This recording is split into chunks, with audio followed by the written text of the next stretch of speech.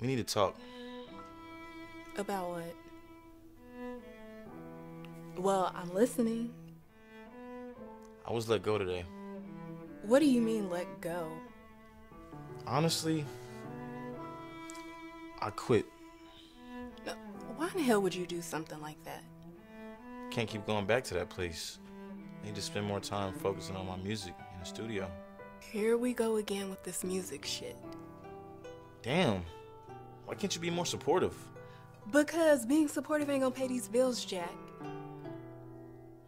So what you gonna do? Cause I'm not supporting a grown man out here chasing some pipe dream. In fact, you can go.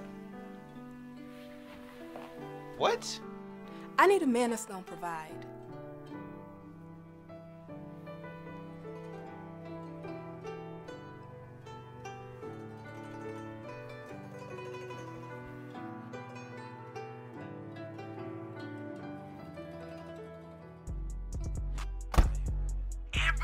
In the city needs to come out to the sold out event featuring Just Jack. Yeah, his album release party is sure to be one for the ages. After signing his multi-million dollar deal, Just Jack is primed and ready to take over the industry. Man, you don't want to miss it.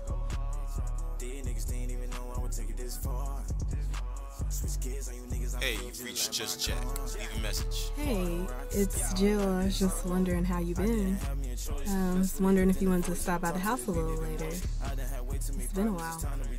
I've been on my roads like Royce. I've been in the booth for a minute. Had to recruit for a minute. Ain't hooped in a minute, but I'ma still win it. You pussy, you should be offended. Shine so bright like a high beam.